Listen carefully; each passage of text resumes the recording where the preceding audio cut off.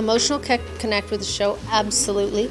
Um, I always look forward every single year that I get that phone call because you can't expect anything in life, and uh, you always hope that a channel will want to bring you back. And um, I always look forward to, you know, Splitsvilla. It's one of my favorite things to do all year um, because it's fun and, I, and we have fun and we do musty and we hang out and we shoot. We work a lot of hours.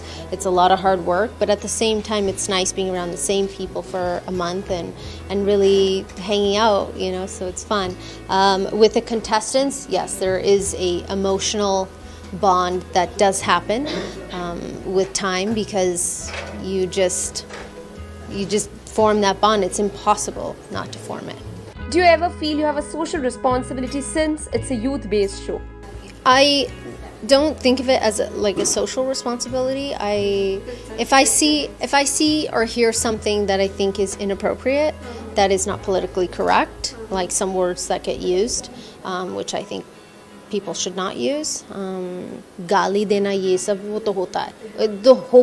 uh, show me. But um, certain things that are politically incorrect or you know, things that are said I feel strongly about, I speak about.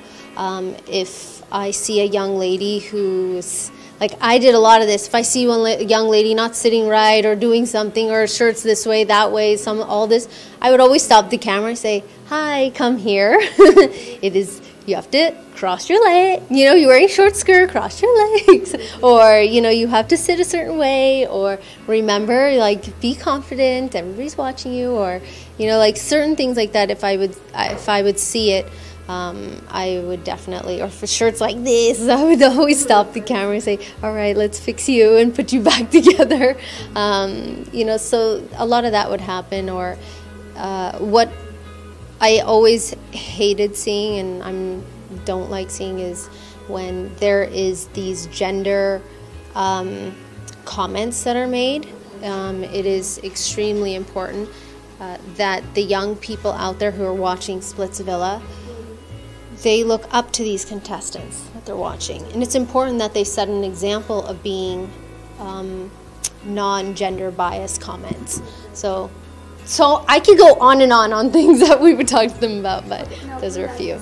How is the show planning to justify its approach to the theme of the show? Sure. Well, um, MTV and has created these situations, experiments of why certain things happen. Do you know why you get butterflies in your stomach, or do you know when what hap- that electricity that happens the first time you touch hands, you know, with that somebody that you like, all those things, that's all like chemistry based and and it's about creating situations where we test out these variables and see what the outcome is. And usually by the end of any of our Baywatch sessions, which was more about chemistry and love and, you know, whether it was love or it was friendship, um, we learned a lot about each other. And some, some of them are just plain really silly. Um, but it is all about, you know, finding your match and finding your connection, whether it was romantic or not romantic.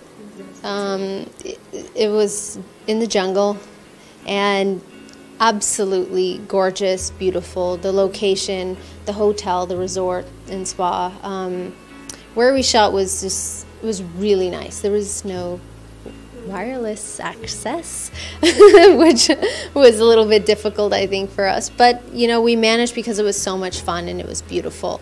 Uh, there were a lot of bugs. Like I swear, if there is a YouTube blooper like clip of how many bugs I've swatted at that come right all up in my face. Um, it would be hilarious and people love it and laugh at me, but it's okay. Um, there were a lot of bugs out there. Lastly, message for your fans and viewers.